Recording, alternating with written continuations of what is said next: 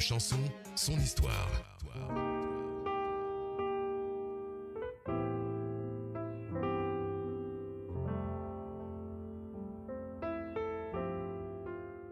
bonjour, je m'appelle Grégory Privat, compositeur qui est sorti donc en février 2011.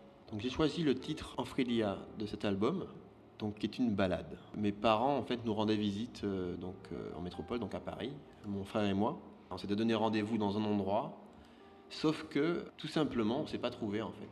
On s'est pas trouvé parce que on a donné un numéro donc de, de, de, rue en fait, voilà tout simplement. Mais mes parents n'ont pas vu le numéro, donc on s'est cherché un peu partout pour couronner le tout, en fait, il faisait vraiment, vraiment très, très froid. Il y a eu un sentiment qui est apparu, en fait, en moi en tout cas, qui était vraiment euh, très fort, en fait, parce que c'est vrai que lorsqu'on est amené à quitter, en fait, son île, c'est comme... Euh, c'est comme un déchirement en fait. C'est vrai que quand on retrouve en tout cas sa famille, c'est vraiment un moment d'une grande émotion Sauf que cette émotion-là, on l'a pas.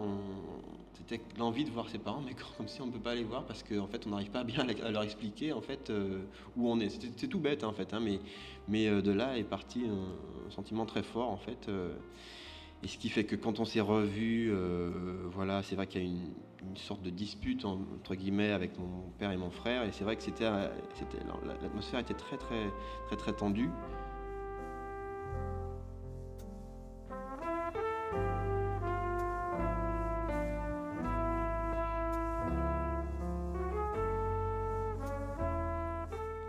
c'est des choses toutes simples en fait, mais, qui, restent quoi, qui restent. Et puis, euh, et puis ça, ça, fait qu'on écrit un morceau tout simplement. Et puis, euh, et puis voilà. Donc sur le qui fait qu'il peut provoquer aussi des disputes, même si on aime très fortement ses parents. Donc voilà, c'était un peu euh, ce morceau, ce, qu'il dégage en tout cas.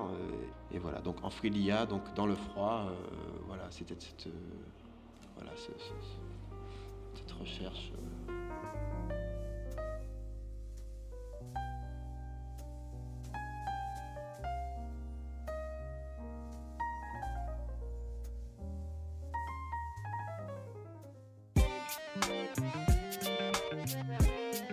C'était une chanson, son histoire.